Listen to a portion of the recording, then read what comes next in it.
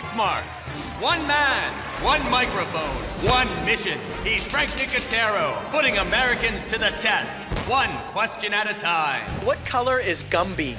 Green. What's he sound like when he talks? He squeaks. He squeak. Give me, give Don't me. make me squeak, Fred. It's Frank. Remember the name? I made you squeak. Frank made me squeak. He's Frank Nicotero. At least they got my name right. Street Smarts. Think you've got him?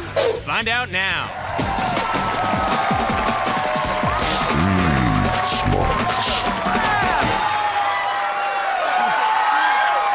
To Street Smarts. I'm Frank Nicotero. You know, there's nothing better than a sunny afternoon, time on my hands, and being able to take part in the greatest American pastime, traveling around the country asking people for answers.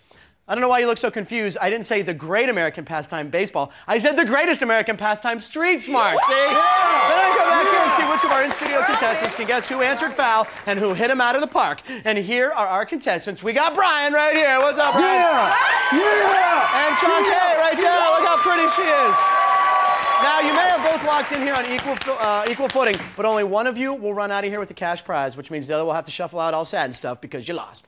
So, let's shake a leg and meet our three street savants. First up, homecoming queen Natali tells us some of her nasty nicknames. So, Natali, where are you from? Las Vegas, Nevada? So, Natali, you were elected homecoming queen, Yes. and now what do you do? I'm going to UNLV this fall. And what are you going to go for? I'm majoring in communication. Do you have any nicknames? Yeah, Nasty Nat and Malibu Barbie. If you could date anyone famous, who would it be? Tom Cruise. Tom Cruise. Yeah, but I'd probably date you though. All right. Good answer. And Joelle, the cashier, explains why it's nice to change places with a model. So, Joelle, what do you do? I'm a cashier at Bally's, And where are you originally from? uh, Lebanon. So, from Lebanon. Now, you were born there? Yes. If you could trade places with anyone in the world, who would it be? Some sort of model or something. I just want to be rich. Oh. What's the last book you read? Oh, Islands of the Blue Dolphins in fifth grade. Oh, okay. So, since fifth grade, not much? Basically. Okay. You call glamour and, you know, Cosmo. At least you're reading. Hey. Finally, Chris recognizes a true genius when he sees one. Where are you from? From Long Beach, California. The LBC. LBC. If you could marry someone famous, who would it be? Halle Berry. What's the best advice your parents would give you? Don't get a girl pregnant. You haven't, have you? Nah. Who's someone you consider to be a genius? You. Me? You a genius. I'm a genius. Come up with this show. Hey. I didn't really. Well, yeah, I did. All right. Yeah.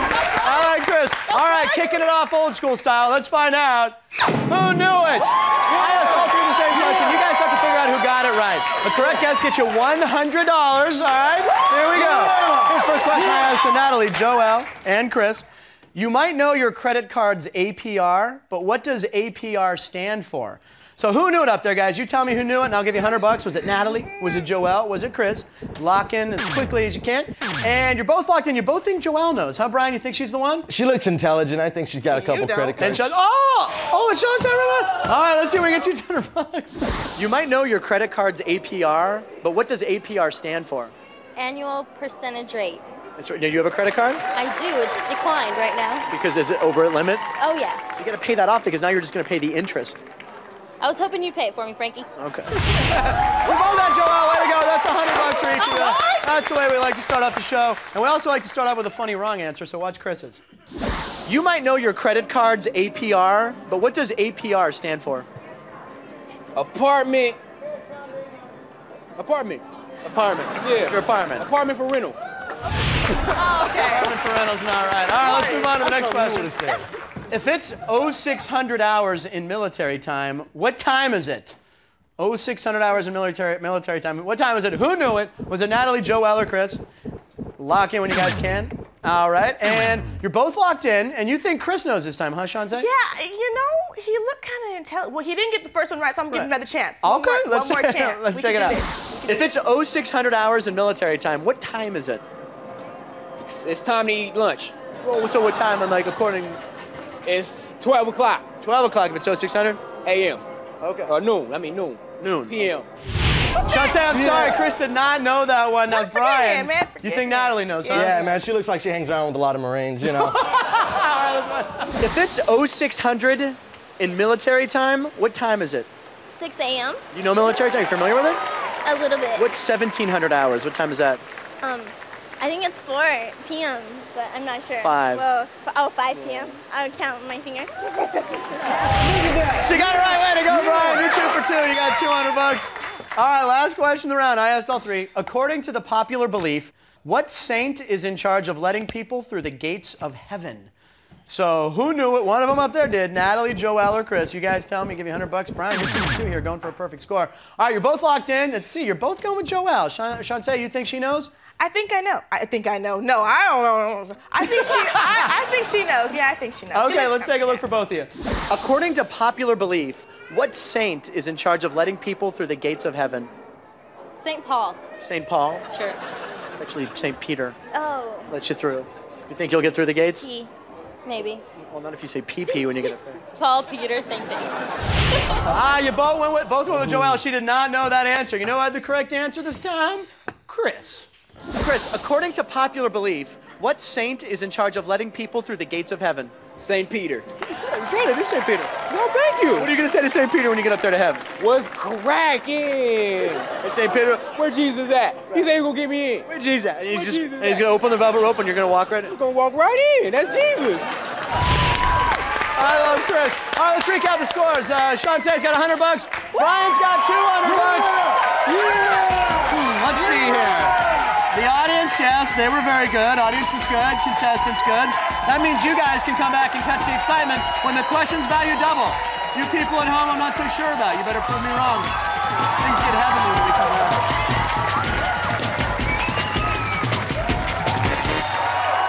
Which famous Beatle album has an all-white album cover? No idea who the Beatles are.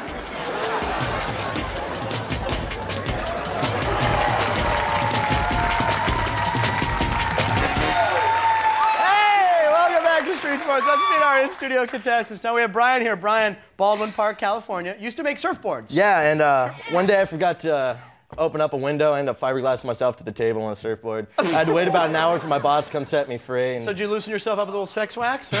Yeah. I know surfer lingo. Maybe get a bevy. All right, now we have the lovely Shawncae here. Yes, now, we Shawncae, do. you're Yes, from Pomona. California. You're a, sh- a shoe sales clerk. Yes, I'm a shoe Oh, sales right. clerk, and for the first month, I had no proper training, didn't know how to find the shoes in the back. So I'll help a customer. I'll go in the back, pretend to look, then be out, go back out, be like, no, we don't have your size. I did that same thing. I sold shoes. I did the same thing. And for you at home, yes, I wear size 15D. Okay, all right. Let's recap the scores. Uh, Sean Say's got 100 bucks. Brian's got 200 bucks. He's got the lead. Yeah. I'm just trying to figure out who blew it. All right, I have the same question, only two people at a time. You guys have to figure out who got it wrong. A correct guess earns you $200. Plus, there's the dunce cap. That can only be used once. You think your opponent doesn't know an answer to a question, buzz in and dunce them. If they're wrong, you get 200 bucks. If they're right, they get the 200 bucks. Much like the morning, the dunce cap can get crotchety, so watch out. So here's the first question I asked to both Joel and to Chris. How many players are in the starting lineup of a baseball team? So, oh, you've been dunced, Brian, by Shantae. All right, I'm going to read the question again. You have five seconds to answer it. $200 on the table. How many players are in the starting lineup of a baseball team? 12. That's a wrong answer, Brian. Shantae, you get the money. Way to go. You now have the lead. You're up to 300 bucks. All right, now both of you, who blew it up here? What do you think? Lock in when you can. Brian, evidently not a big baseball fan. That's all right, Brian. I'll show you the right answer here, but you guys are looking for the wrong one. So lock in and okay. there you go. All right, you think Joel blew it, huh, Brian? Yeah. I don't think she's a big baseball fan. Okay, let's take a look. How many players are in the starting lineup of a baseball team?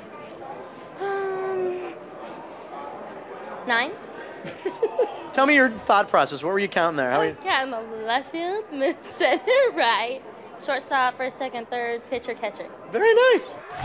She got it right, Brian. I'm sorry, Joel knew. That's the correct answer. It's nine. That's tough Brian. for you. Nine. Okay, all right. It looks gotta like think about the Chris blew it pinch for Sean Say. You know. How many players are in the starting lineup of a baseball team? 30. 30? Like 30 of them. He was counting three teams plus a couple more there. All right. Way to go, Say. He blew. You're up to 500 bucks. Okay, here's the next question I asked to Natali and to Joelle. I asked both lovely ladies. In their ads, how does Rolaids spell relief? Well, do you? So who blew it? Shantae, stop it. Mm. So who blew it up there? One of them did. Was it Natali or Joelle? You guys tell me. I'll give you 200 bucks. All right, and you're both locked in. You both think Natali. Shantae, she won't know this one? no. I don't even think she'll spell it. I don't even. I don't know, man. She's kind of. She has to. All right, let's find out. In their ads, how does Rolaids spell relief? R O L A, and it rips it, and then I D S. You're even like creating the visual for people at home, and then it rips, and then AIDS. Ha ha! You both go with Natali. No, she got it right. Why are you clapping? She got it right. You were ripping on her. She got it right. What? Maybe you don't know how to spell Wait a relief, what Shantae. Shantae, sachet, whatever. Joelle's the one who blew it. What? Whatever. In their ads, how does Rolaids spell relief? R E L I E F. Right. They just spell relief, relief. Relief, yeah. That's the wrong it? answer, Who yes. blew it? Who Here in blew the? Who Blew It round. All right. Correct answer, I- O L A I D S. I only said it eight times. Okay, here's the next question. Last one around to Natali and to Chris. Blew it. If you're starting over, you're turning over a new what? So who blew it? Okay. So log in there, Sean. Say, I love you. All right, you're both logged in. You think Chris blew it, Brian? You think he doesn't know? I don't think he knows. All right, Brian. let's take a look. If you're starting over, you're turning over a new what? A new leaf. That's right, a new leaf. That's your correct answer. You both went with Chris. I'm sorry, I can't give any money. Natali blew it. Here it is. If you're starting over, you're turning over a new what? A new trend. A new trend. A new trend. That was the wrong answer. All right, let's recap the scores here. Brian, the big baseball fans, got 200 bucks. Sean Say got 500 bucks for winning. We'll be turning over an even funnier leaf after this break, so don't turn over a new station. Stick around.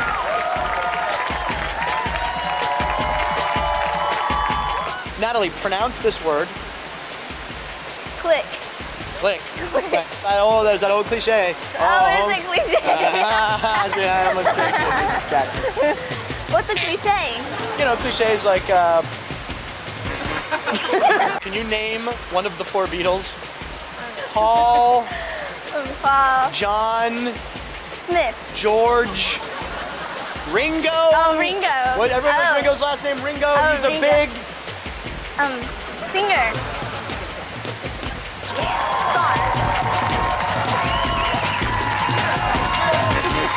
Hey, welcome back. Well, braid my tail. It's time to pick your pony. Each contestant will choose one person for the entire round and try to guess how they'll answer three questions. Correct predictions worth 300 bucks now, you guys. Yeah. And the dunce cap is back. It's worth 300 bucks, and you can only use it once. Now, recapping the scores here. Brian, you got 200 bucks. Sean Say, 500 bucks. Player trailing goes first. Brian, that's you. So who would you You're like to down. pick? So who are you going with, Brian? Going Go with with Joelle. Joelle, She looks like she can saddle up. All right. Sean Say, how about you?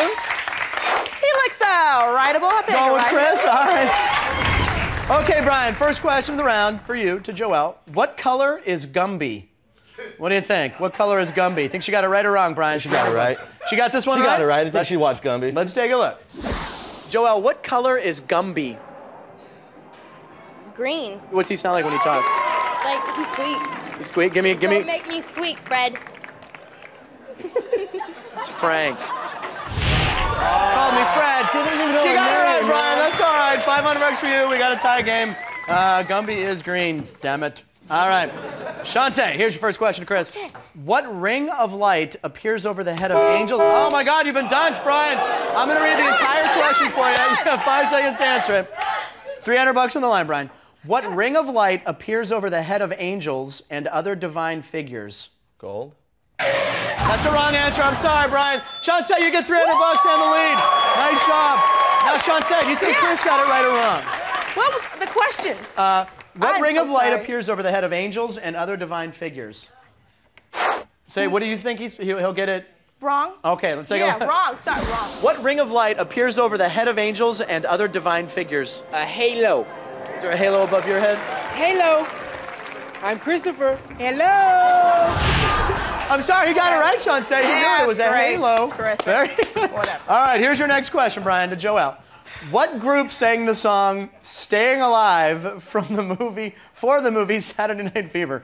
I'm sorry, the crew's just laughing at "Hello." All right. So, what do you think? You think he got this one wrong? Uh, I think she got this it one wrong. She got it wrong. All right, Brian, let's take a look. What group sang the song "Staying Alive" for the movie Saturday Night Fever? The Bee Gees. What year were you born? 83. See, that movie was from 1977. You weren't even born yet, but you got it right. It is the Bee Gees. Woo! I made you squeak. Frank made me squeak. At least you got the name right. she got it right. I'm sorry, Brian. She knew the Bee Gees. Darn she it, was gosh, uh, Willie. Shantae, stop taunting, even though you're winning. You shouldn't be doing that. All right, here's the next question to Chris for you. In the in the music world, what does vinyl refer to? I think you got that right or wrong. You got a $300 lead. You can increase it right here. Go ahead, say it. You have to say. Right. You think you got I think it you got it right. I'm uh, sorry. I think you got it right. All right, let's take a look. I- In the music world, what does vinyl refer to? Record. Right there, you can see. Not a lot of people remember vinyl anymore. I mean, you're a young guy, but you're still down with the vinyl. Still down with vinyl. Way to go, Chantal. You got it right. Takes you to $1,100. Congratulations. You're doing great. Okay, you each have one more in this round. Brian, you need this one to get back in the game here. I asked Joel, in the Friday the 13th movies, what was the killer's first name? So what do you think, Brian? You think Joel could tell me? I think she got it right. Think she got it right? Yeah, I think Let's she got find it. out. In the Friday the 13th movies, what was the killer's first name? Michael. Michael. Michael. Ah, ah. Dun dun dun. Michael. She got it wrong. I'm sorry, Brian. I think she was thinking of Michael Myers from Halloween. Jason. Jason is from Friday the 13th. Jason Voorhees, actually, is his last name. Sad. All right, don't worry about it. We got one more question here for you, Shantae. What do you Yes. Here you go. I'm ready. As a sign of respect when someone important dies, Uh-huh. flags are flown at half what? I Think you got it right or wrong, Shantae? You got a lead here. You can I think it. he can do this one. I You think, so? Yeah. All right, let's see if you can get a mhm. bigger lead for the wager today. As a sign of respect when someone important dies, flags are flown at half what? Half your speed. You're not supposed to go fast when people dead. That's a wrong answer, I Shantae. I'm not. I sorry. don't even The correct know. answer is half mast. All right, let's recap the scores here. Brian, you got 500 bucks. Not bad. Shantae, $1,100. When we return, Brian and Shantae will be making a final prediction on a question I asked to Natali, Joel, and Chris. I asked them, when it's summer in Miami, Florida, what season is it in Sydney, Australia? You know the score. The entire game is about to be decided in. The wager of The wager. Come back, back.